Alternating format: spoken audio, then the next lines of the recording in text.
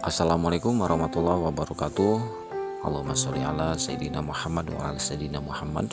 Teman-teman pada kesempatan hari Jumat tanggal 7 April 2023 saya ingin mengangkat mengenai fase pertumbuhan padi ya.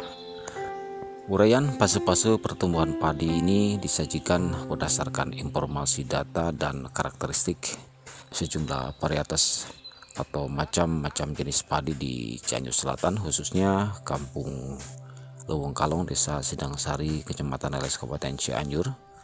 Pantauan saya pada hari Kamis kemarin tanggal 6 April ke pesawahan wilayah tersebut tujuannya untuk mengenali tiga fase pertumbuhan dasar tanaman padi dan tahapan perkembangan pada setiap fase mengidentifikasi tahapan pertumbuhan tanaman padi menurut skala 0 sampai 9. Setiap angka pada skala berkaitan dengan tahapan pertumbuhan spesifik.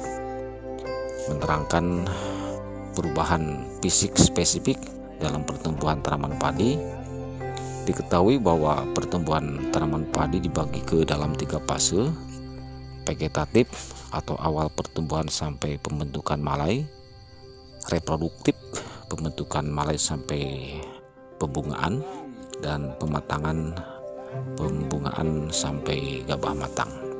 Nah, pemirsa yang dalam gambar ini sengaja saya tampilkan mulai membeli atau mempersiapkan alat-alat pertanian pada bulan lalu hingga saat ini memang sudah digunakan.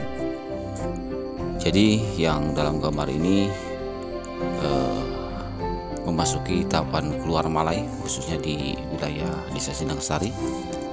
Hiding ditandai dengan kemunculan ujung Malai dari pelapah daun bendera.